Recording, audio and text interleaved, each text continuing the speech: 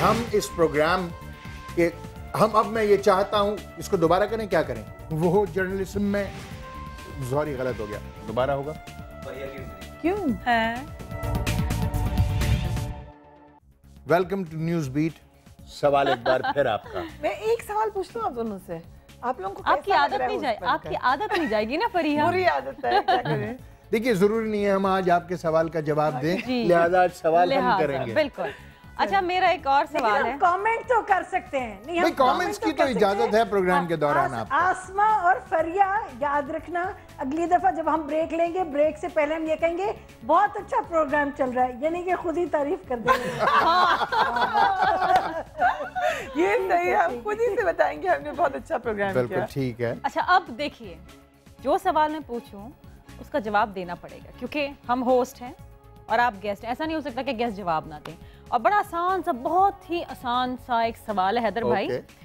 आ, मैं सिर्फ़ ये पूछूँगी मैं पाँच सियासतदानों के नाम लूँगी और आपको सिर्फ़ ग्रेड करना है one two three four five कि आपका कि आपका पसंदीदा कौन सा है? आप समझती हैं कि वो बहुत अच्छा सियासतदान है और आप समझती हैं कि जी वो बस ठीक है मीडियोकर सा है तो नंबर फिफ्थ पे होना चाहिए।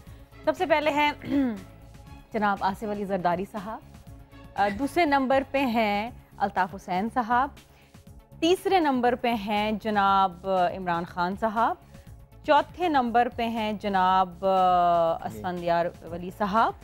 और पाँचवें नंबर पे हैदर भाई। मियाँ मोहम्मद नवाज़ शरीफ साहब। मियाँ मोहम्मद नवाज़ शरीफ साहब। नसीम इन्होंने अपनी प्रायोरिटी के हिसाब से नाम लिए वैसे। Well well done Faria well done बिल्कुल मैं यही कहने चाह रही थी अपनी प्रायोरिटी बता दिया और डिड यू रियलाइज़ कि उन्होंने इमरान खान को नंबर थ्री पे डाला है? ये आई डोंट ये ये तबसरा भी मुझे मुझे पसंद आ रहा है।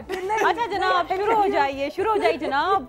मुझे पता है कि बड़ी मंझी हुई यहाँ पर एंकर पर्सन्स बैठी हुई हैं और ये भी सवाल को घुमा देंगी। लेकिन नसीम साहिबा, मैं फिर एक दफ़ा आपसे मुखातिब हूँ कि पहले आपसे हमें जवाब चाहिए। बात यह है कि ये सब लोग अपने किस्म की सियासत कर रहे हैं। जो सियासतदान मुल्क में आके सियासत करे, मेरा ख्याल है वो ज़्यादा बेहतर है। और उसके अलावा they are all in the game of politics और अ, इनकी अपनी स्ट्रेंथ्स हैं और वीकनेसेस हैं। अ, इमरान खान जो हैं ही उनको भी को भी ट्राई नहीं किया गया। वो एक अ, जज्बा होप लेके चले हुए आगे। बियॉन्ड दैट मैं क्या कहूँ आपको? हमने जवाब तो दे दिया। हम कुछ इनको थोड़ा सा क्वेश्चन दे रहे हैं हम क्यों? हाँ नहीं नहीं ये हमें नहीं देती है फरिया हाँ एग्जैक्टली हाँ। नहीं उसमें तो यही सवाल मुझसे करे उन्होंने इतने अच्छे जवाब दे दिए दोनों ने तो अब आप भी जवाब दे दीजिए। डिसलाइक हो ही नहीं सकती।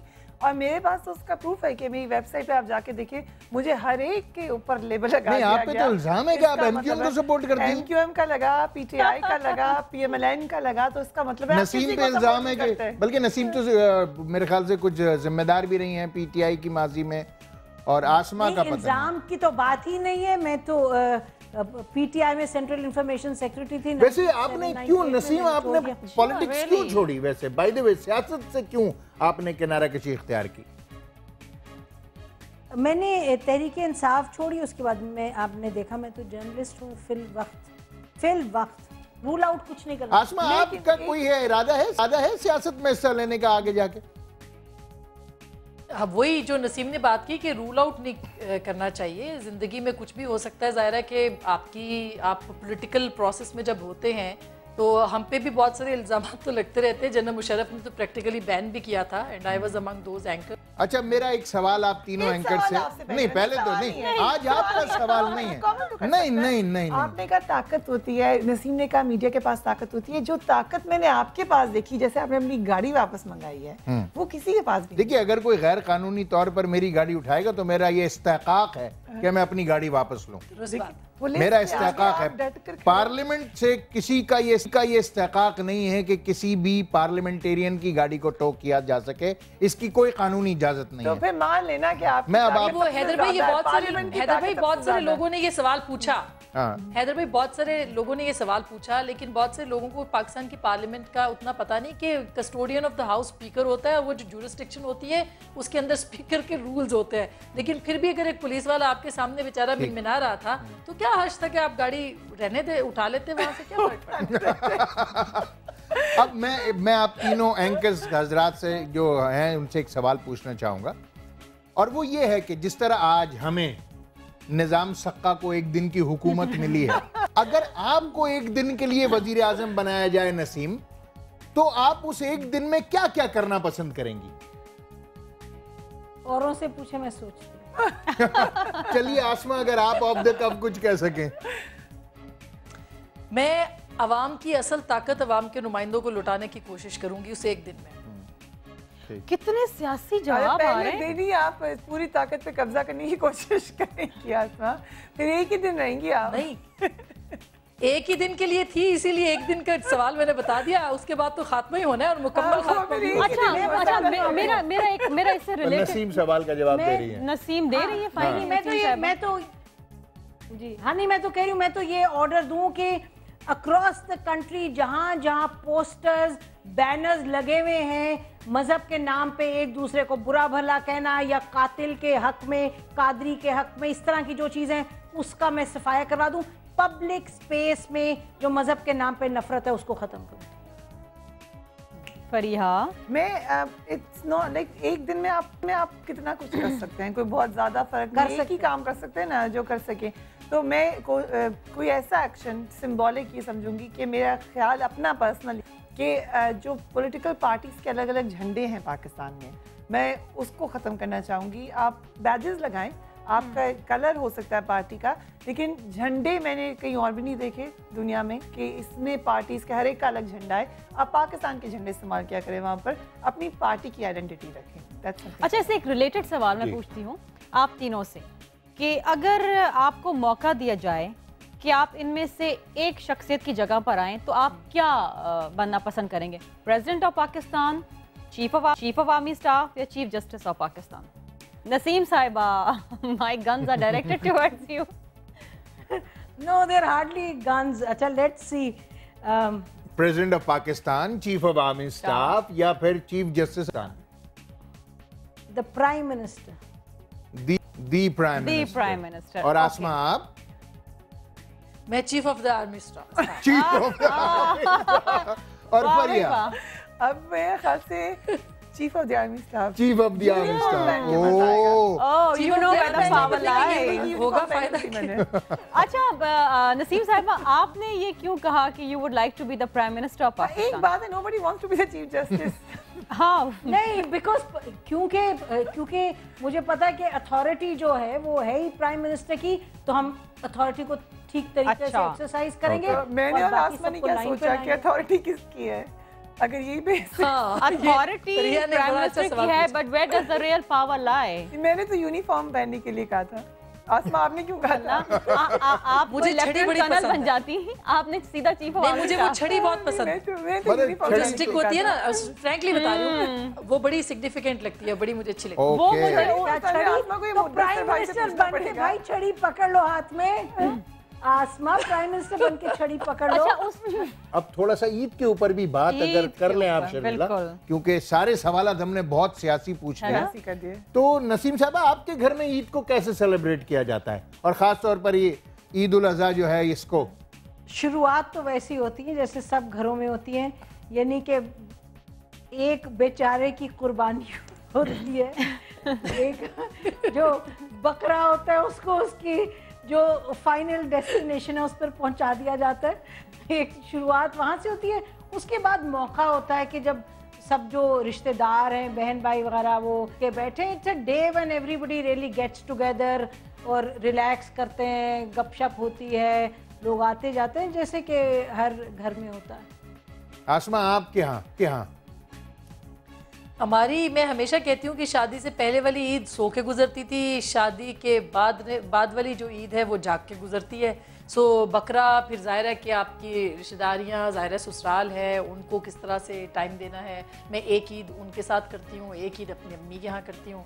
तो वो फिर भतीजे, भतीजियाँ, भांजे, भांजियाँ टेलीफोन और फिर बकरे के गोश्त के साथ जो हिसाब किताब करना होता है, बांटना होता है, इसमें गुजर जाती है। आपकी ईद कैसी रहती है? ईद बहुत अच्छी रहती है। ईद पे मुझे बहुत मज़ा मैं बिल्कुल बच्चों की तरह ईद एंजॉय करती हूँ। फुल फ्लेज्ड उसको आखिर वक्त तक और मुझे आखिर में कोशिश भी होती है कि जब तक बिल्कुल नींद ना आए ना सो कि कहीं ईद ना ख़त्म हो जाए। लेकिन होती बिल्कुल ट्रेडिशनल है फैमिली Okay. के साथ तमाम रिश्तेदारों से मिलकर जो बाहर है फैमिली उनसे फ़ोन पे ज़रूर बात करनी और बाहर भी जाना। और जो प्लान हो सकता है ना मुझे वो ये मैं भी तो बताओ कि तुम तुम खास परिया ये भी तो बताओ तुम खास एहतमाम करती हो चूड़ियों का मेहंदी का हाँ, बाकी एंकर्स इतना नहीं करते जितना ये ख्याल है ये ख्याल हाँ ये तो वो परांदे वाली लड़की है भाई ये तो परांदा परांदा बाँध के घूमती है। देना तो ही हूँ। नाम भी रखा गया गाना तो अब आया लेकिन ये कि मुझे फुल शौक होता है ईद के ऊपर बल्कि मेरी फैमिली मुझे अच्छा कहती है "We फरिया don't want ये तो रिक्वेस्ट है भाई। मेरा ख्याल है सब जो खवातीन एंकर्स हैं उनको चूड़ियाँ भेज दिया करो हर ईद पे आप पहन ले अपने शो में बैठ के पहन वो शर्जील मेमन साहब की ड्यूटी लगा रहे हैं। वादा करें कि आप पहन के शो में आएँगी मैं आपको पूरे डब्बे भिजवा दूँगी ईद के ऊपर। मैं बिल्कुल पहन के आऊँगी। बस ये मेरा वादा है आप सबकी चूड़ियाँ पक्की हो गई लेकिन ईदी तो हैदर भाई देंगे। बिल्कुल ईदी तो हर हाँ, साल वो वो भाई का मेरे ही जिम्मे और वो बिल्कुल।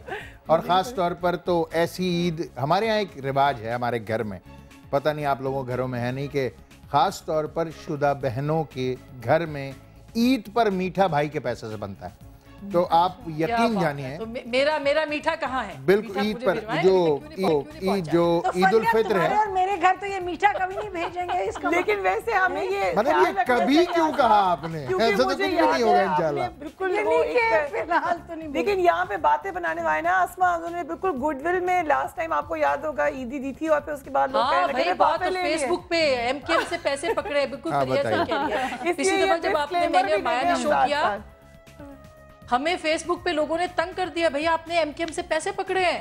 तो हाँ ये तो बड़ी हाँ, हैरत अंगेज बात थी और जबकि छोटी बहनों के लिए हाँ. बड़े भाइयों को चाहिए कि वो छोटी बहनों को। उसके बाद साद ने भी मेरे ख्याल से वो ईदी जो है वो हमारी बहनों को दी थी भाई ने भी दी थी और शेख साहब ने मुझे नहीं दी थी माया को दी थी। ये दोबारा कहते हैं ताकि वो भिजवा दें इस दफ़ा आपको। नहीं नहीं बिल्कुल ये तो सिलसिला चलता रहना चाहिए। और ज़ाहिर है कि खातन हजरात के जब हम साथ काम करते हैं तो हमारे दरमियान माहौल भी एक बिल्कुल एक ऐसा होता है कि जैसे हम एक फैमिली हैं और एक दूसरे के साथ हँसी मज़ाक वो रिश्ते जो कि प्यार के रिश्ते हैं मोहब्बत और तकद्दुस के रिश्ते हैं वो हमारे दरमियान कायम होते हैं। एब्सोल्युट मगर एक चीज़ और यहाँ कहनी थी जैसे देखा कि आज हमने कोशिश की कि हम एंकर से सवाल कर लें मगर मुझे ये मानने में कतन कोई आर नहीं है कि मैं और शर्मिला बहुत बुरी तरह नाकाम हुआ काम हुए क्योंकि सवाल की जद पर हम ही थे। और प्रोग्राम का वक्त भी खत्म हो गया, मगर एंकर्स के सवाल खत्म नहीं हुए और जो डोमिनेट करते रहे इस प्रोग्राम को, वो एंकर जी थे और हम पॉलिटिशियन तो बेचारे डरे सहमे, एक सोफे पर, एक जगह पर, एक कोने में कहीं बैठे रहे। मगर मुझे यकीन है कि आपने ने इस प्रोग्राम को एंजॉय किया होगा। मैं बहुत शुक्रिया अदा करता हूँ। नसीम को गो के बहुत बिज़ी थी, इनको जाना भी था।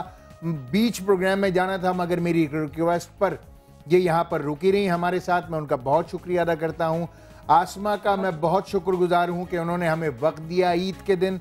और आपका फरिया कि आपने अपनी सीट अपनी पोजीशन और हमें दी। सब हमें दी। Thank you very much both of you for coming on the show Thank you very और प्रोग्राम को इतना अच्छा आप लोगों ने चलाया कि मुझे वाकई अपनी नौकरी की फ़िक्र हो गई है। नहीं नहीं फरिया हम कभी भी आपकी जगह नहीं रह सकते। यू आर द बेस्ट और आप लोगों को कैसा लगा आप भी हमें ज़रूर बताइएगा। अपना ख्याल रखिएगा ईद मुबारक अल्लाह हाफिज।